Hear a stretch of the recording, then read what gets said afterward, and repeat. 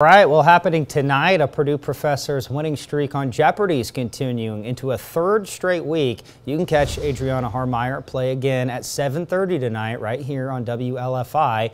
She won again Friday night, bringing her eight-day total winnings to $183,100. She first appeared on the show May 29th. The Purdue archivist and clinical assistant professor is now eligible for the Tournament of Champions.